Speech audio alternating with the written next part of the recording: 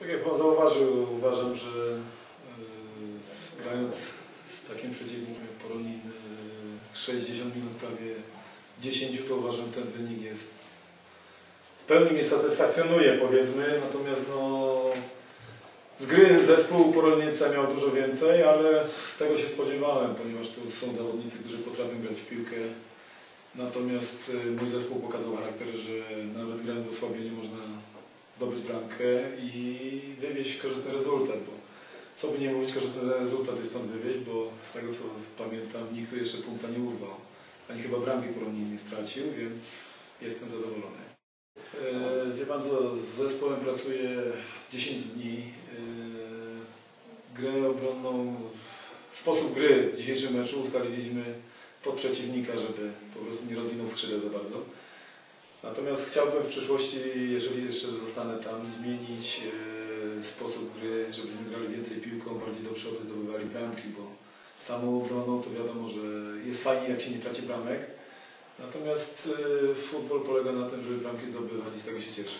No. Y, Znaczy tak, dziś, na, na, w dzisiejszym meczu nie grał podstawowy obrońca i jeden zawodnik wyjechał mi do Anglii akurat wczoraj, więc straciliśmy dwóch. Dodatkowo ze składu, który powinien grać, y, kontuzję leczy Sławek Stec, który no, 10 dni temu na pierwszym treningu moim, nie wiem, może pechowy jestem, E, doznał kontuzji kolana i kontuzję leczy etatowy środkowy pomocnik Paweł Kafel.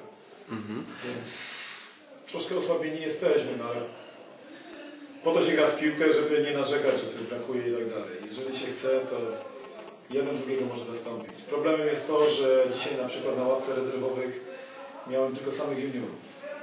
Notabene, których widzę drugi raz, trzeci raz w życiu ponieważ no, przez te kontuzje, wyjazd, y, żółte kartki zrobiło się to, że y, mam 12 zawodników normalnie do grania. Na dzień dzisiejszy, na, na, na, ten mecz.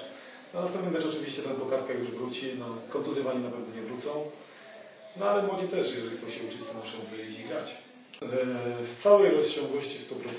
y, Ponieważ, y, mówię, mieszkając w Wolniczu, gdzie Olimpia jest czwartoligowcem, przez 2,5 miesiąca miałem luz, więc chodziłem sobie na mecze, widziałem przeciwników zarówno Olimpii, jak i Olimpię grającą. Także jak chodzi o Poroniec, uważam, że w tej lidze na dzień dzisiejszy nikt nie jest w stanie im za- zagrozić w awansie.